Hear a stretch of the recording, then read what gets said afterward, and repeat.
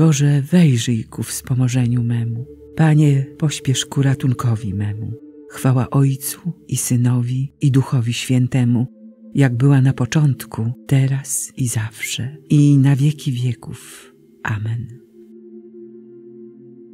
O tej godzinie Zbawiciel pragnienie cierpiał na krzyżu. Niech da chwalącym go pieśnią pragnienie sprawiedliwości. Niech głodem prawdy ich przejmie i zaspokoi go sobą, by grzech odrazę w nich budził, a cnota ich pociągała. Niech łaska Ducha Świętego proszących tak usposobi, by żądze ciała przygasły i duch oziębły zapłonął. Błagajmy Ojca i Syna i Ducha ich Najświętszego. Niech Bóg otacza nas pieczą, gdy w Trójcy Go wysławiamy. Amen. Nie chcę śmierci grzesznika, lecz aby się nawrócił i miał życie. Twoje napomnienia, Panie, są przedziwne, dlatego przestrzega ich moja dusza. Poznanie Twoich słów oświeca i naucza niedoświadczonych. Zaczerpnę powietrza otwartymi ustami, bo pragnę Twoich przykazań. Zwróć się ku mnie i zmiłuj się nade mną, tak jak czynisz z miłującymi Twe imię. Umocnij moje kroki Twoim słowem. Niech żadna niegodziwość nie panuje we mnie.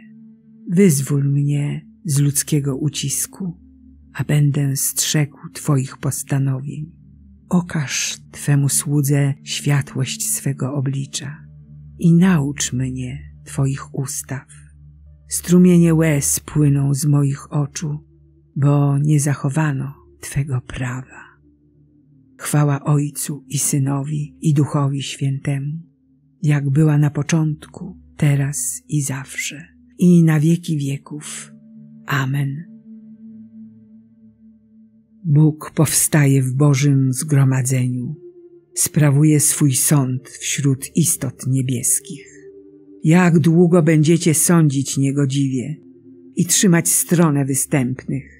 Ujmijcie się za sierotą i uciśnionym, oddajcie sprawiedliwość ubogim i nieszczęśliwym. Uwolnijcie uciśnionego i nędzarza, wyrwijcie go z rąk występnych.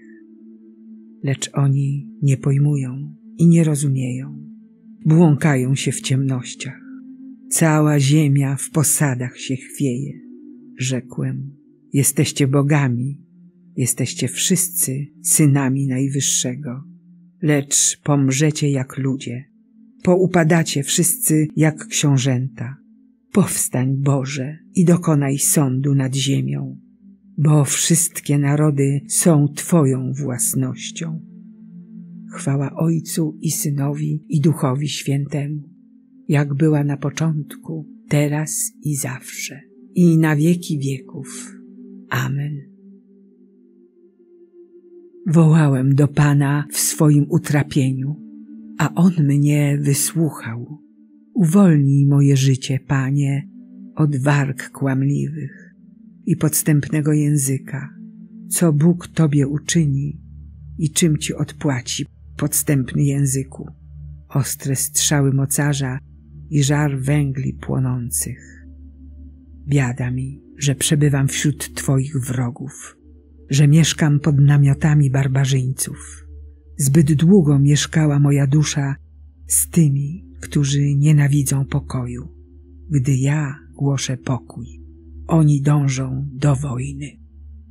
Chwała Ojcu i Synowi i Duchowi Świętemu, jak była na początku, teraz i zawsze, i na wieki wieków.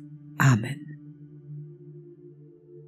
Nie chcę śmierci grzesznika, lecz aby się nawrócił i miał życie.